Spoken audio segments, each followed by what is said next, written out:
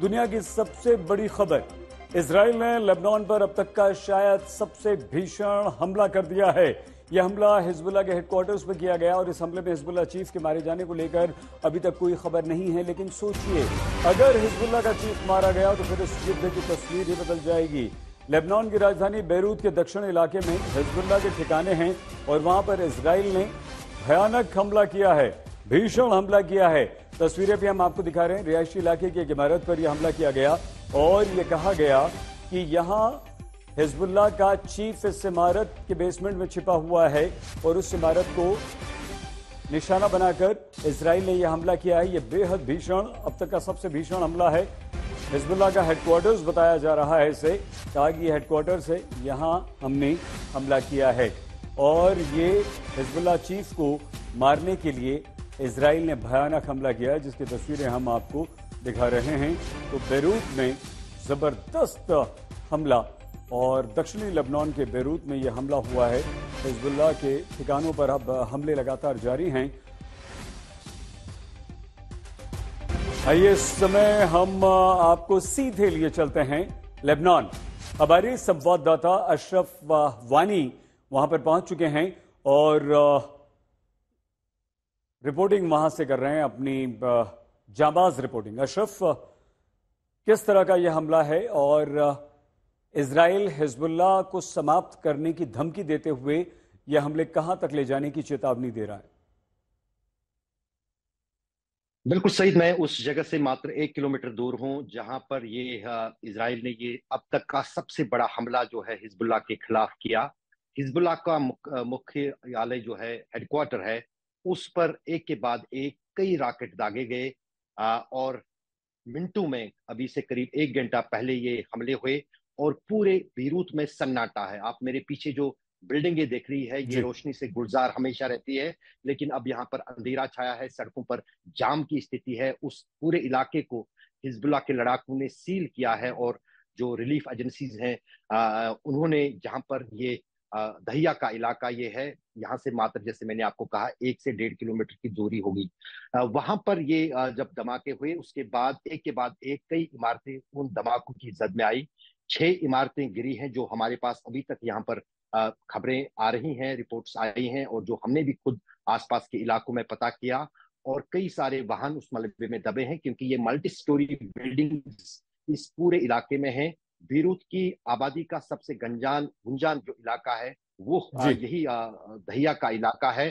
2006 में भी यहाँ पर इसराइल ने हमले किए थे लेकिन 2006 के बाद जब लेबनान और इसराइल का युद्ध था दोबारा पिछले कई दिनों से हिजबुल्ला और हिजबुल्ला और इसराइल के बीच में युद्ध जारी है और उसमें सबसे बड़ा हमला आज का माना जाता है। इसराइल की सेना की तरफ़ से दावा किया गया अंडरग्राउंड जो का हेडक्वार्टर था, वहाँ उस बंकर को बनाने की ये कोशिश इसराइल की तरफ़ से थी, लेकिन हसन नसरुल्ला के मारे जाने को लेकर अभी कोई पुष्टि ना ही हिजबुल्ला की तरफ़ से हुई है और ना ही ईरान की तरफ़ से। हिजबुल्ला के हेडक्वार्टर्स पर यह हमला हुआ है और हसन नसरुल्ला जिसका उल्लेख आप अशरफ कर रहे हैं, वो उसी को मारने के लिए हमला किया गया और हिजबुल्ला की तरफ़ से खबर आ रही है कि नसरुल्ला जो है वो सुरक्षित है। लेकिन आप हमारे साथ बने रहिए। एक और बड़ी खबर इस समय आ रही है। हिजबुल्ला चीफ को लेकर यह बड़ी खबर है नसरुल्ला को लेकर। बताया जा रहा है कि हिजबुल्ला चीफ नसरुल्ला सुरक्षित है। और ये जानकारी एएफबी न्यूज़ एजेंसी के हवाले से आई है। हिजबुल्ला के करीबी ने एएफ को ये जानकारी दी है। और न्यूज़ एजेंसी एएफपी ने कहा है कि हिजबुल्ला चीफ नसरुल्ला सुरक्षित है। इसी को मारने के लिए इसराइल ने ये इतना बड़ा हमला किया था, लेकिन ये खबर आ गई और न्यूज़ एजेंसी को यह खबर हिजबुल्ला के चीफ नसरुल्लाह के किसी करीबी ने दी है। अशरफ, अब क्योंकि इसराइल ने कसम खाई है कि वो हिजबुल्ला को तबाह करेगा, खत्म करेगा, नसरुल्लाह को छोड़ेगा नहीं तो अब इस तरह के और कितने हमले आप बैरूत में और लेबनान के अलग अलग हिस्सों में देख सकते हैं। सही, दरअसल युद्ध जो है 8 अक्टूबर 2023 से हिजबुल्ला और इसराइल के बीच दक्षिणी लेबनान में चल रहा था, जो सीमा लगती है लेबनान की इसराइल के साथ, उस पर हर रोज या तो मिसाइल या रॉकेट से हिजबुल्ला जहाँ एक तरफ़ हमला करता था, वहीं जवाबी कार्रवाई में भी आर्टिलरी, फायर और छोटे छोटे जो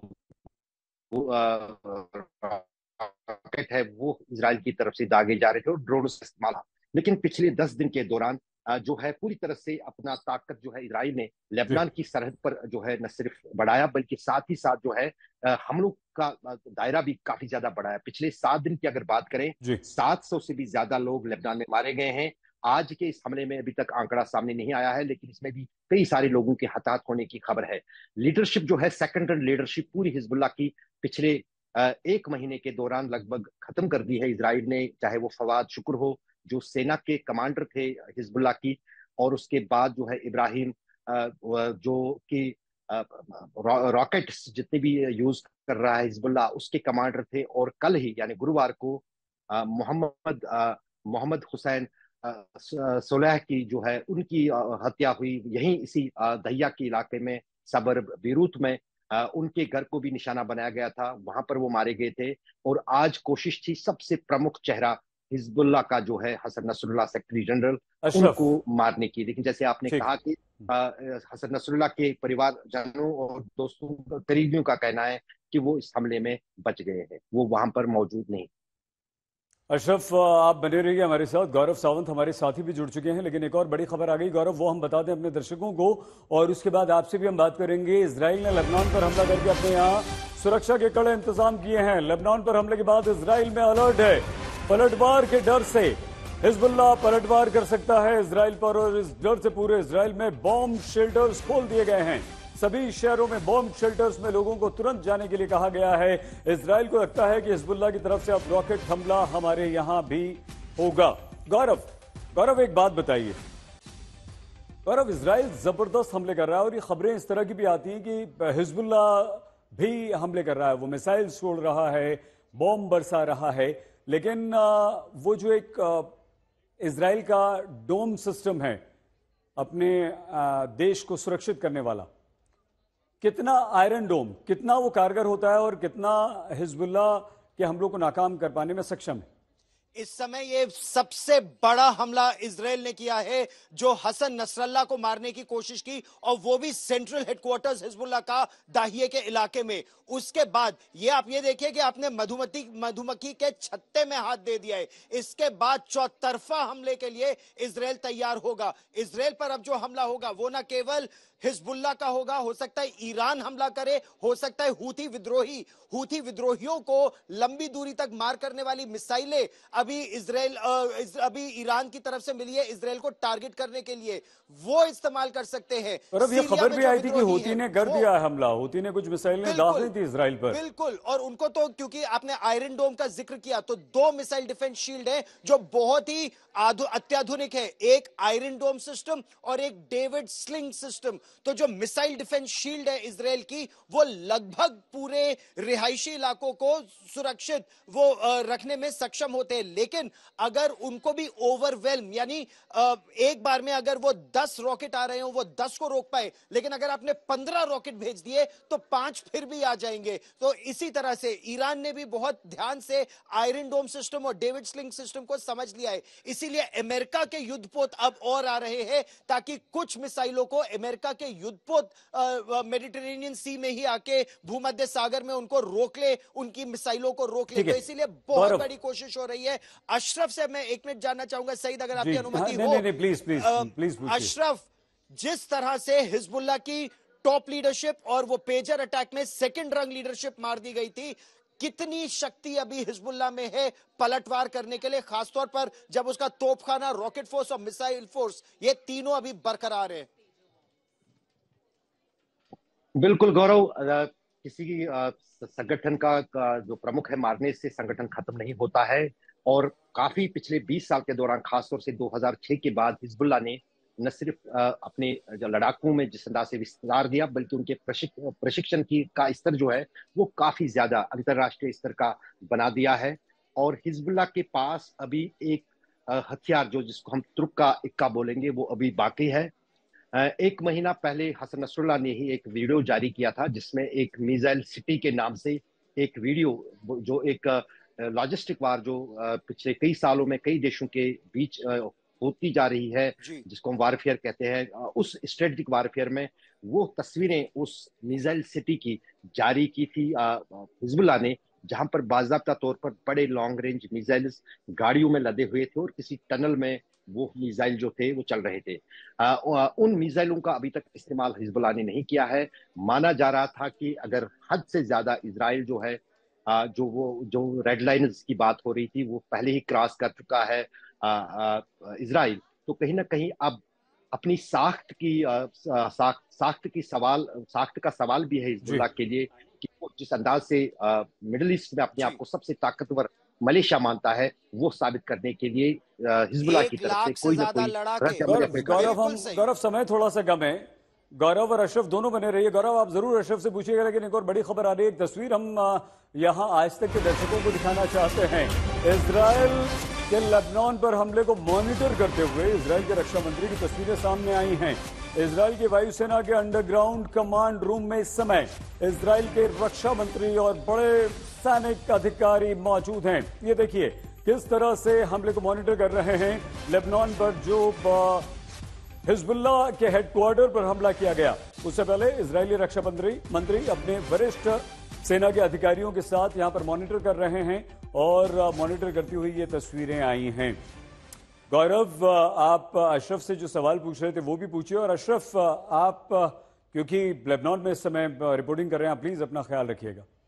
क्योंकि ये जो तस्वीरें हमारे दर्शक देख रहे हैं जनरल जो इस समय देख रहे हैं, एक हर्जी हलेवी जो आर्मी चीफ है, वो वर्दी में वहाँ बैठे हैं। उनके बगल में युवाफ गलांट है युवाफ गलांट रक्षा मंत्री हैं, बहुत ही हार्डलाइनर है। और कहा यह जा रहा है कि जब बेंजामिन नेतन्याहू सीज फायर की बात अमेरिका और फ्रांस दोनों उन पर दबाव डाल रहे थे तो पूरे देश ने कहा, अभी सीज फायर नहीं, अभी हिजबुल्ला पर वार करो, देश को सुरक्षित करो। और इसका मतलब अशरफ, क्या यह होगा कि आने वाले दिनों में यह लड़ाई और ज़्यादा ज़्यादा भड़केगी, न केवल आकाश में और ज़मीन पर, बल्कि भूमध्य सागर में भी, जहाँ हूथी विद्रोहियों ने अब अमेरिका की नौसेना को टारगेट करना शुरू कर दिया है। बिल्कुल, लड़ाई भी बढ़ेगी और इसमें अब और भी प्लेयर्स जो खदशा जताया जा रहा था, जब युद्ध चल रहा था, पहले हमास और इसराइल के बीच में और अब हिजबुल्ला और इसराइल के बीच में। हुतीज के साथ साथ जो है, जो मलेशिया अलग अलग देशों के हैं, शिया मलेशिया खासतौर से इराक और सीरिया की अगर बात करें सालों तक उन्होंने युद्ध लड़ा है और वो अपने जो उनके प्रमुख होते हैं जो कि जिनको इमाम से, से वो पुकारते हैं तो वो जो है वो कहीं ना कहीं इस लड़ाई में कूदे क्योंकि ये ईरान के प्रॉक्सीज हैं और ईरान के वर्चस्व की लड़ाई है।